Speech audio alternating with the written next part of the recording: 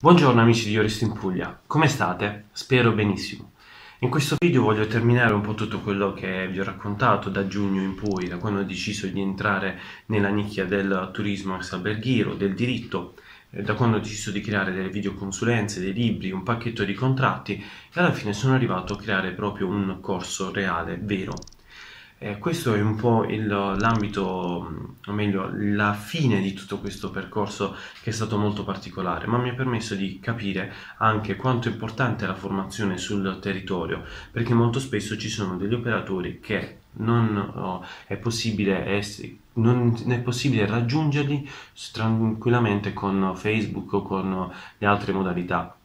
Infatti anche per uh, far sì che persone arrivassero a, uh, a, partecipare a questo corso ho anche utilizzato una modalità prevista da Frank Merenda, è una persona che di marketing forse è il guru in, il guru in Europa e vi dicevo ho anche mandato dei cartacei per, uh, dei flyer cartacei per informare le persone di questo corso. Ora quello che voglio dirvi è che alla fine, se avrete la bontà di rivedere anche tutti gli altri video che si chiamano Come io resto in Puglia, è che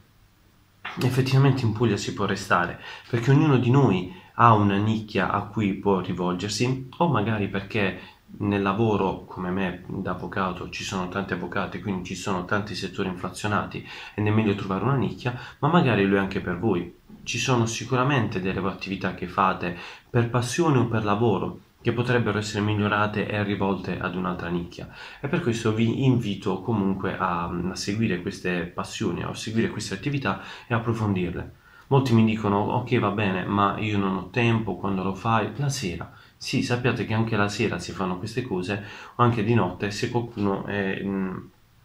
ha come obiettivo e soprattutto ha fame di cambiare un po' la propria attività perché eh, molti adesso preferiscono lo stipendio fisso, il posto fisso, sono disposti anche ad andare al nord per pagare poi chissà quanto affitto e per poi scrivere su certi portali la Puglia mi manca così eccola, ok va bene, la Puglia vi manca, però sappiate che potete fare anche qualcosa di più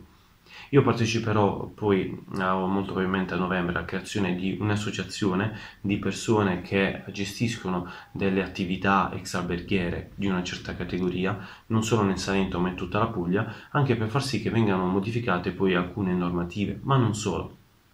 Quello che voglio dirvi è che ci sono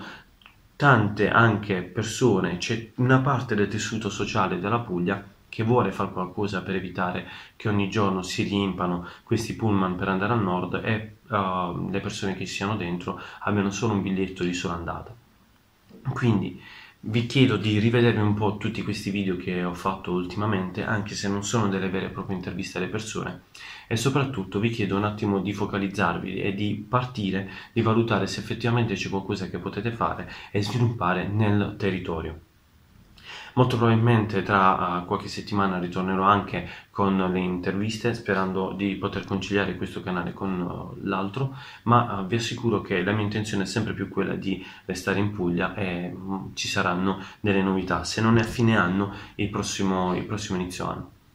Quindi, che dirvi? Io vi ringrazio per avermi seguito, vi ringrazio di seguirmi sempre e ci vediamo al prossimo video.